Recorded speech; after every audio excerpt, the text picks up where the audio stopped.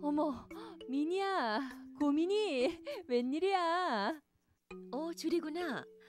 오늘 외래 오는 날이어서. 그래, 너 자궁암 수술했단 얘긴 들었어. 그러잖아도 전화 한번 하려고 했는데, 어, 저기 몸은 많이 회복됐어? 어, 뭐, 많이 좋아지긴 했는데, 왜? 무슨 일 있어? 저, 아, 그, 그게 부부 관계 때문에 고민이야. 어디다가 물어보기도 거북하고.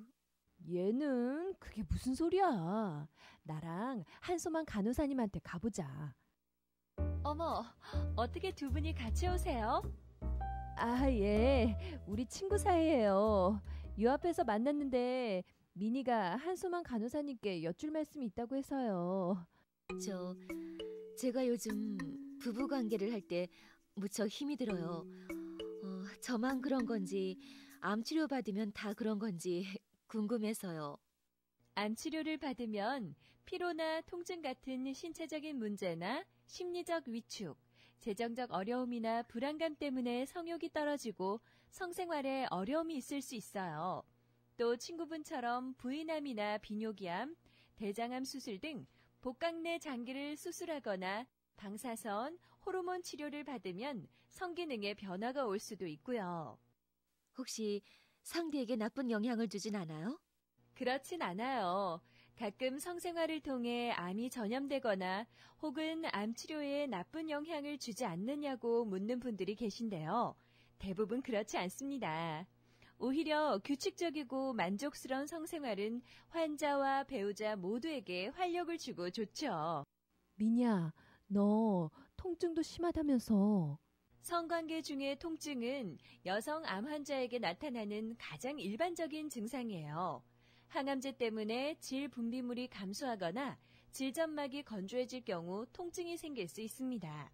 또 수술로 질의 길이가 짧아졌거나 방사선 치료로 질이 위축된 경우에도 통증을 느낄 수 있죠. 여보. 여보. 왜 그래? 여보, 저기 말이야. 나 아무래도 폐경이 온 것 같아. 어? 벌써?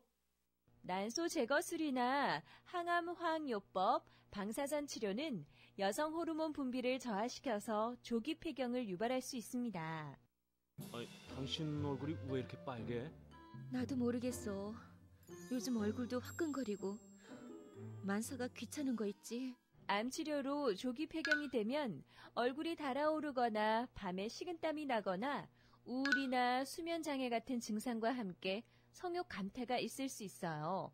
질 위축으로 성교 시에 통증이 있을 수도 있고요. 어머, 고민이님과 정주리님이 함께 오셨네요. 나누리님도 성생활이 힘드셨어요? 만사가 귀찮고 싫었죠 뭐. 사실 암 치료를 받는다고 해서 성생활을 즐길 수 없는 건 아니에요. 통증이나 심리적 스트레스로 성적 만족감을 느끼기 어려울 수도 있지만 기분 전환이나 체위 변경 등 다양한 방법을 시도해 보는 게 좋겠죠. 사실은 노력과 훈련이 필요해요. 맞아요. 성적 만족감을 느낄 수 있는 방법은 다양합니다. 성관계를 할 때 환상적인 생각을 하며 성감대를 애무한다든지 질 근육을 조였다 풀었다 해볼 수도 있고요. 불편함을 최소화하고 좋은 기분을 느낄 수 있는 다양한 체위나 방법을 개발해 보세요. 감추거나 쑥스러워하지 말고 배우자와 솔직하게 터놓고 얘기하세요. 즐거운 성생활을 위해 무엇보다 중요한 건 솔직한 대화와 이해, 그리고 자신감이랍니다. 나누리님은 어떻게 극복하셨어요? 남편이 많이 도와줬어요. 제가 힘들어하면 부부관계를 자제하고 안아주고 손도 잡아주고 얘기도 많이 하고요. 사실 성생활은 성교만이 아니라 포옹이나 키스, 신체적 접촉, 애무, 정서적 교류 등을 모두 포함하는 행위죠. 암 치료로 나타나는 성기능 장애를 해결할 수 있는 방법을 좀 살펴보면요. 여보, 오늘 무슨 날인지 알지? 그럼 미리 진통제를 먹어야겠다. 통증이 있으면 성관계 1시간 전에 진통제를 복용하는 것도 도움이 됩니다. 여보, 내가 부드러운 쿠션을 좀 샀어. 통증 부위에 베개나 쿠션을 사용하는 것도 압박을 피하는 좋은 방법입니다. 그러나 성관계 도중 회음부 통증이 심하게 생겼다면 반드시 의료진과 상의하십시오. 어, 아, 여보, 잠깐만. 암 치료로 질 분비물이 감소되면 건조해져서 성관계 시 아프거나 불편할 수 있어요.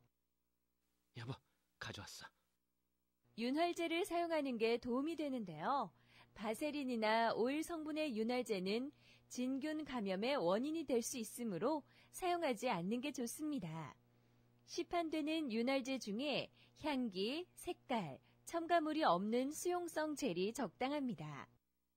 또 골반이나 자궁 경부, 질 등의 방사선 치료를 받고 질이 협착됐다면 질 내 조직 회복을 위해 질 확장기 같은 도구를 사용할 수도 있어요.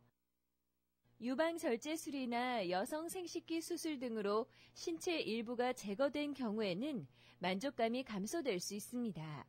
배우자와 함께 즐거움을 느낄 수 있는 새로운 성감대를 찾아보는 것도 좋고요. 또 스스로 변화된 자신의 몸을 바라보거나 만져보면서 자신의 몸에 익숙해져 가고 만족감을 느끼는 부위를 찾아보는 것도 좋죠. 저는 남편이랑 요가랑 수영을 같이 시작했는데요. 스트레스 해소도 되고 또 기분 전환도 되고 좋더라고요. 암 치료로 폐경이 된 경우 대부분의 증상은 시간이 지나면 좋아집니다. 다양한 취미 활동으로 기분 전환을 하는 건 아주 중요합니다. 암 치료 중에 성관계를 할 때 특별히 조심할 것들을 좀 일러주세요. 수술 후 회복기엔 성관계가 수술 부위에 자극을 줘서 감염이 될 수 있어요. 성관계 시작 시기를 의료진들과 상의하시고요. 암 치료 때문에 면역 기능이 낮아지는 시기엔 질 삽입을 삼가하시고 포옹이나 키스, 신체적 접촉과 애무로 대신하는 게 좋습니다. 한소만 간호사님, 혹시 암 치료 중이나 암 치료 후에 임신을 해도 괜찮은가요? 항암 화학 요법과 같은 암 치료 중에는 피임을 하도록 돼 있는데요. 설사 치료가 끝났을지라도 임신을 계획할 경우엔 반드시 의료진들과 상의해서 시기를 결정하시는 게 좋습니다. 어, 이제 좀 안심이 돼요.